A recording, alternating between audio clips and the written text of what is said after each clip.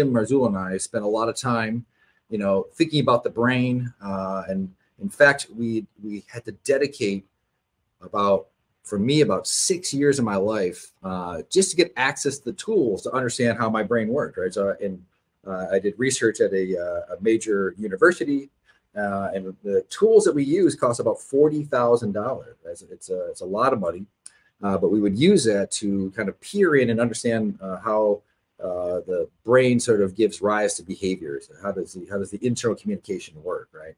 You know, one out of five people, that's 20% of the entire world has a neurological disorder, and there are no cures for these diseases, right? You probably have some friends and relatives that may suffer from maybe dementia, depression, uh, various uh, debilitating diseases, right? And there's no cures. Uh, yet the only way to get people interested in studying the brain is to, you know, dedicate your life and, you know, spend you know, four to six years in, a, in toiling away in your PI's lab to get access to tools, right? Uh, that didn't seem quite fair. Uh, and in fact, uh, in other areas of science, for example, in, um, in astronomy, you don't have to get a PhD in astrophysics uh, to get access to the tools, right? You can just go buy a cheap telescope uh, and maybe right away uh, become in love with the idea of science or maybe in astronomy and want to dedicate your life to do that, right? Uh, but there was nothing like that within uh, within biology in general, uh, but neuroscience in particular. There was no kind of cheap telescope uh, for the brain, right? So that's uh, what we decided to do. We did a sort of a internal challenge to kind of develop a, a, low cost instrument of our, our giant lab equipment, and we ended up creating something we call the the SpikerBox. It's something that looks like this right here, and it's it's sort of like a a telescope, uh, but for the brain. Instead of looking at outer space, you're going to look at inner space, right? You're going to be able to try to understand how do uh, the cells of the brain give rise to behaviors. And we're hoping that, you know, just like what happened in the computer revolution, where you now have like, you know, miniaturized cell phones and, and this type of stuff, uh, we will do that in the future. We can just say, oh man, you know, I used to have uh, Alzheimer's, but I took this pill and now it's gone, right? So that's that's where we're getting at, and so that's what the um, the goal of our of our uh, book here is to sort of get people familiar with the brain uh, and then familiar with how to do experiments. How do you do uh, controls? How do you how do you actually uh, quantify that? How do you form hypotheses? This type of stuff is what we want the everyday citizen to be able to do in biology and in neuroscience. What i like to do now is to do some experiments uh, to record this stuff. And what i'm going to do is i'm going to not record from my brain uh, which I could do. Um, if I were to put a a couple of holes in my head, I would be able then to record from my brain, but I'm not going to do that. I'm going to use what's called a stand-in or an animal model. And what I have here are a bunch of uh, South American cockroaches. The poor cockroach is well hated, right? Everyone doesn't like the cockroach, uh, but I'm here to rescue the cockroach and to remind you that the cockroaches are very similar to us. And so, if you were to slice open a brain of a human and slice open a brain of a cockroach and put them under a microscope, you wouldn't be able to tell the difference. The only thing that's different is the number of cells, right? So they have about a million cells. We got about a hundred billion cells, right? So it's uh, it's just a sheer number thing. But the individual cells themselves are very similar to each other. So that's that's what makes it a really exciting um, animal model because we can then learn about ourselves by using the cockroach. Even though the brain is sitting over there, it doesn't know this. These neurons are still alive and they're functioning and they're going to keep sending messages uh, about touch information. Okay. And if you can hear something right now, that sounds like pops, like a little crackling sound. And those sounds are neurons. So as I touch this hair, you hear that? What's that? So, you know, we are careful scientists here at Google Talks, so we're going to try to investigate this. I'm going to open up our, uh, our little device here, and so we can see that as I touch it lightly, you get a handful of them. If I touch it a little bit harder, you get more of those, and so if I touch it even harder, you get more of those. And this works not just with our eyes, uh, sorry, with our with our uh, touch sensors, right? But we have uh, a bunch of experiments that look at this with vision. We look at within, you know, uh, smells and all these other things that do as soon as it hits the, the photoreceptor, as soon as it hits the chemoreceptor in your nose or in your ear, another another hair cell just like this one, it immediately converts it into spikes, and those spikes are get sent throughout the brain, and it does uh, this process called consciousness, which we're not quite sure about how that works yet, but we're sort of sorting it out. Um, but then eventually comes back down to your muscles in the form of spikes, in which you allows your muscles to move around and interact. Uh, I have to disconnect the cockroach and connect me. So when I do that, so now we can see these are the neurons in my spinal cord that they're synapsing on that on those muscle fibers. And we can do the same trick here. We can look in and see what those signals look like. I'm going to average it a few times.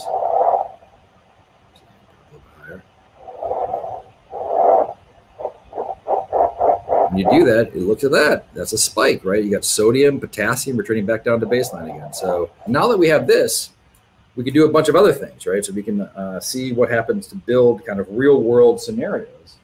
Let's say you want to build a, a neural prosthetic. So here's a, a servo uh, we've built with some strings on it. And so we can do is connect this guy to here. Let's see. And then, okay. So now when I squeeze my hand, you get, a, you get another hand that does it. And you can imagine where this goes from here, right? So if, once you get connections to the to the muscles, uh, the output of electrical activity of the brain's control of those muscles, then you can have it start controlling other things in the room. If a fifth grader can do it, uh, then anybody can do it, right? And so we try to make the experiments to such a way that that uh, that a person with you know fifth grade education be able to do these experiments. And some of these are really advanced. You know, they're they're kind of uh, kind of cutting edge experiments that are going on. We do microstimulation studies. We look at you know, even even things like optogenetics and, and uh, these neural neural prosthetics, which are still like uh, cutting edge research things. And we even tried to set it up so that when you uh, when you're done reading and you're like, there's so much unknown about the brain. Like when you're done reading a chapter, there's always open-ended questions, and some of them don't even have answers, right? So like, uh, so just trying to get people ideas of how how do you take a large problem like studying the brain and bring it down to small enough chunks that you're able to make some progress into it is kind of what we're going for. The great thing about the we working with like younger kids, which we tend to do, yeah. Uh, if you if you listen to them, they have they have got so many good advice, like ideas uh, for future experiments, and then I, I like they don't know what they don't know, and most yeah. people don't, right? And so and but the difference I think is that that these younger students are not afraid to shout something out that they don't know about, right? So like that's what kind of drove the idea of writing this book is, is trying to get more of those ideas out there. And we, we have an open call for people to come back with ideas because I think, uh, and that's just one of many examples. Even the idea of on your cell phone came from a student. Like, I don't want on a computer on my phone. You know, it's like tons of ideas are coming back. It's, it's uh, and, and you don't find many people that are not interested in the brain or want to talk about it. So I think it's a, it's, it's, it's, if you listen, you get some good ideas. You know, there's all these like um, philosophical questions like uh, what does the brain do? Does the brain the brain the brain is trying to predict, right? So it, it, that's exactly what's doing. Well, well, if it's trying to predict, then why don't you go into a dark room, and you can always predict what's going on next. Nothing's going to happen, right? So it doesn't just predict. So it's predicted for a reason. Um, but no, I do think that the brain do, doesn't need it because you, you can you can close your eyes, you can imagine, right? So uh, this idea of consciousness is a bunch of different theories that are out there. Um, the one I like is the uh, the attention schema, uh, which is basically claiming that um, it's just a sketch of your attention that's going on right now. That's what your awareness is. And so, what's cool about that is that it can be outwardly focused. You'd be focusing on things outside, getting stimuli, but you could also kind of turn around and look inwards, right? You could do, you could sort of imagine. And so, a lot of the things that we do in our brain is like, uh, as we're, and that's what's kind of exciting about what's happening with uh, the AI revolution happening now with these like convolutional neural networks. Oh, the brain's a convolutional, like, like as you builds up, you build these models. But I do think that the mostly the motor cortex, or sorry, the cerebral cortex is model building, right? And so some of these models are models of your body, uh, of your body schema, and so you can imagine without without like laying in bed at night, you know, getting up and doing something, right? Or you can also imagine uh, what you could be thinking, and so that's your model of attention that you're working on. Everything I talked about today, even even the stuff afterwards, was all done with animals, right? So this is, um, and, and it, it's important to have that discussion about ethics. And so when, and that's what I don't like about like when you give like a TED talk, you only have six minutes or 10 minutes, you, you don't get all this. And so I like this little bit longer format. You can do that. Um, so that's been one of the biggest challenges is trying to uh, explain that idea of that, that benefit reward ratio and how do you, how do you ethically do it? And so You know, for example, when you're, I do, does do insects feel pain? I suspect they do. I mean, I don't know. There's like they have nociceptors, right? So, um, so if they do, then you should treat them with respect, and that's why we're anesthetizing the cockroach, which is still here. uh, so, getting that message across, and and uh, what I found is that uh, people get very angry about this, but the people, but I've never had people get angry when you're in a discussion where you're having a logical discussion about why you're doing it with the ethics of, and then all of our stuff is you know reviewed through an IRB, an independent ethical review board. But when you have that discussion logically and and sort of uh, ethically, uh, we never get much pushback. But that has been an issue, uh, it continues to be an issue. And so, uh, I think it's important if we uh, to be able to protect our loved ones and trying to understand how the brain works. Is that we have to continue to use these. That hopefully one day uh, maybe within my lifetime. I know depending on how far these AI models seem to be kind of exponentially growing in, in their complexity.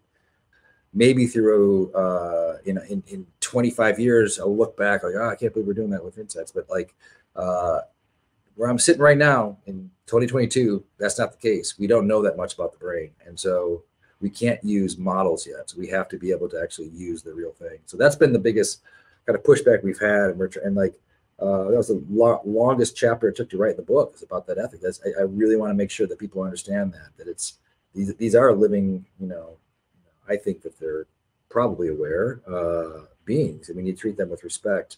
Uh, but we also need to look at the broader picture and try to get, handle that as well. So being able to handle both those things is a, it's a complex thing, and that's been the hardest thing for me to sort of get across. I'm more excited about getting it out into just building the tools that get them in other people's hands because I think you know, I, I think we're creative, but I, I know that other people are much more creative than us, and I'm just excited to see what they come up with.